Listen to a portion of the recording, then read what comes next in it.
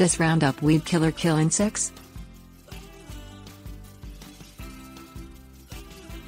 Roundup weed killer, a non-selective, post-emergence herbicide marketed by the Monsanto company, is absorbed by plant leaves and stems.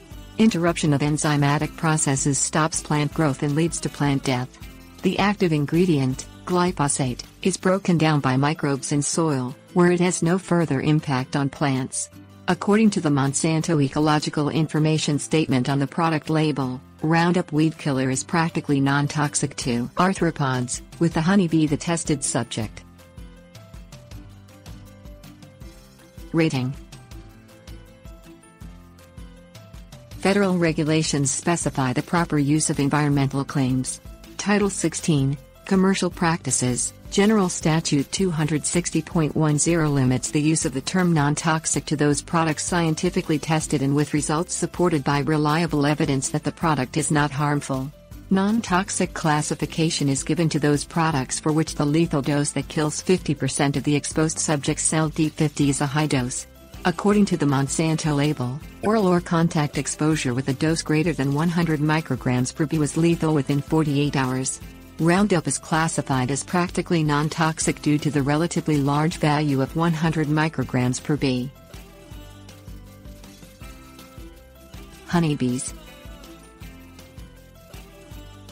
Honeybees make a significant contribution to the United States economy through production of honey and beeswax. But one of these bees' most valuable contributions to the economy is their function as pollinators of fruits, vegetables and other insect-pollinated crops.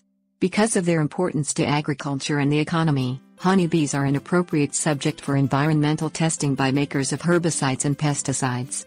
According to the University of Rhode Island Landscape Horticulture Program, herbicides are generally non-toxic to honeybees. Ecology Insect populations decline for various reasons, including scarce food supplies, Researchers John M. Pleasants and Karen S. Oberhauser, according to a study reported in Insect Conservation and Diversity, linked the reduced populations of milkweed plants Asclepias spp. in the Midwest with declining numbers of monarch butterflies.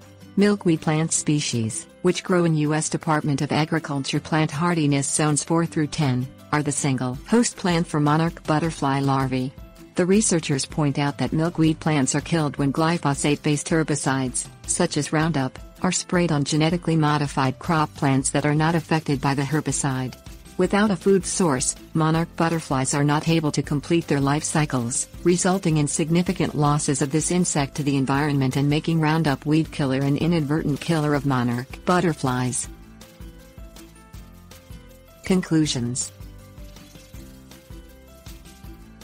By design, Roundup weed killer interferes with a plant's growth process.